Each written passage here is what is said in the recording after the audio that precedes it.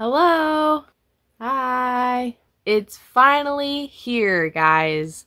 Jessica Jung's newest book, the sequel to Shine, Bright. And I have read it. Mm-hmm. If you weren't around for my Shine series that I did on the channel, I'm going to do the same thing where this video is going to be the spoiler-free review of the book. Spoiler free because really there's not much to spoil because this is this literally happened. This is a real story. Real. It's it's fake but it's real. Later, I will put out the much longer video going through everything that happens in the book. It's going to be very long, but it'll be faster to watch that video than to read the book. So look for that. It's going to be a while, but it is coming, I promise. Right. First thing you're going to do when you get this book is take off the cover and you're going to flip it. Way better cover. And it goes with the original book. Why did they... I don't... Whatever. But then you're just going to take it off anyway. This is just annoying to deal with. But I'm going to put it back on because look how... Look how... Jessica! to get it out of the way, I am not biased for or against Jessica. This drama happened way before I joined K-pop, so I do not care about if she left, if she got kicked out. I do not care. I'm here for an entertaining story. So let's talk about that. It's not that great of a book. I really didn't like it that much. a bit of a refresher of the first book. Shine is pre-debut Jessica which by Jessica, I mean Rachel. Rachel is the character in the book. I often refer to her as Jessica because she is literally Jessica. It's not subtle, especially in Bright, which takes place five years later. So Jessica in this story just gets like everything that she really wants. She's getting this album with her sister, they have a reality show together. She gets to start her own fashion brand, which like everyone's really jealous of and is shocked that she's able to do this because they got denied opportunities all the time. But it's like, oh, well, Jessica gets it. You know, there's just a lot of cattiness and all of that. And I don't know. I don't know how to explain it. It's something like you have to read it to just kind of understand how, like, annoying Rachel kind of is. It's hard to, like, even do like a spoiler free version of this because like there's not much to spoil. It's literally what happened. and to be honest, it's really not that enjoyable of a story to read. Shine, you know, not the greatest book I ever read, but it's still just very enjoyable. You know, it's your classic YA. You know, there's a clear villain in the story, which is Mina. You have your love interest, Jason. And there's twists and turns to it that like it actually has a plot to it that's entertaining you know? You have your classic you know you know what i'm talking about? Remember from school? The little mountain thing? It makes sense as a story. Bright! No. It's not that entertaining. It's only entertaining because we know the story of her life and there's tea. But like it's just not a fun read. So just first starting off, there's no like main villain, no main antagonist, unless you really want to count DB Entertainment, which is this world to SM Entertainment, or if you want to count the members of Girls Forever, which is this universe's Girls Generation. But to be honest, they're really not that villainous. Like, I can understand their decisions or their disliking of her, she kind of sucks. And, you know, I guess in the group itself, there are the trio of mean girls with Mina, Lizzie, and Eunji. But even then, like, yeah, they're mean. But at points in the story, she has moments of trying to be, like, understanding with them, where she has something that, like, connects, like, with each of them.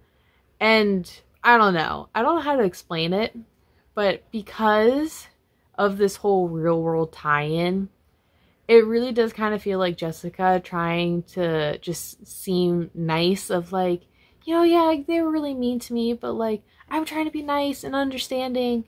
and I realize I sound a little bit catty saying that, but it just it, it's weird. It's just really weird. Just let them be mean. I don't know. I think that's more entertaining of a story. And I said this in the review of Shine. I'll say it again here. The girls really don't feel like these one-to-one comparisons to the different members of Girls' Generation. It's probably more so like different traits of each kind of going to the different girls. Like it's not like, oh, Mina's Taeyeon. Like it's not quite like that. There's definitely girls that were nicer to her, and then there's the three that were really mean to her. But I, like I said, I really don't care about that part of it. We gotta talk about the love interest. Tyler Kwon, which is not his name in the book. Tyler Kwon is the real person. In the book, his name is Alex. So, although I might not be biased against Jessica, which you may not believe after you know what I've said in this video, I don't like Tyler Kwon. I couldn't tell you exactly why I don't. That is my cat. he is friends or might be a was. He was is whatever friends with Seungri from Big Bang. There's just something, you know, if you're friends with Seungri. ah, rubs me the wrong way. Also, just being a business investor.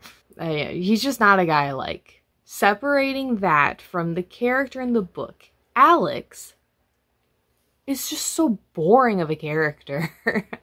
I just wanted Jason back. This is another you know, weakness of this just being her life story. Normally, in a YA kind of novel, the second book brings in the second love interest and you have some kind of love triangle. And I love me a good love triangle. We don't get that here. There's no love triangle, there's no drama. It's just here's a new guy and they're in love. Cool. Jason from the first book is in this story, but it is established very early on that they are just friends. He is seeing someone else. They tried to date after the first book. It wasn't working because of their schedules, and yeah. But I swear to God, every time Jason came back in the story, I just got so happy and I wanted them to be together. Because I frankly do not care about your life, Jessica. I just want a good book. And this Alex storyline's just not that good. He's just some guy that she meets through a friend. They got the hots for each other. And he's like this perfect supportive boyfriend and it's long distance and they have to keep it a secret. But oh man, even when they get found out, there's really no consequences for them. Even though all the other girls, when their relationships get exposed, they have like, you know, break up or do all this other stuff, but not for Rachel. She gets everything that she wants. and it's a really just annoying trait of a main character. She has just major main character syndrome in this book. It's just frankly very annoying. Especially when you have all the other characters being like, it's really annoying that this keeps happening to you. And she's just like, yeah, I know, but like, what can I do about it? Why am I supporting this character? Why do I care if her fashion like brand excels. And we, that's okay that's i guess we have to talk about that. That's the story. That is the plot. She starts a fashion brand. And everyone hates her for it. Because it takes up a lot of time. And i guess i shouldn't spoil too much. Because i said spoiler free but if you know the story you know the story.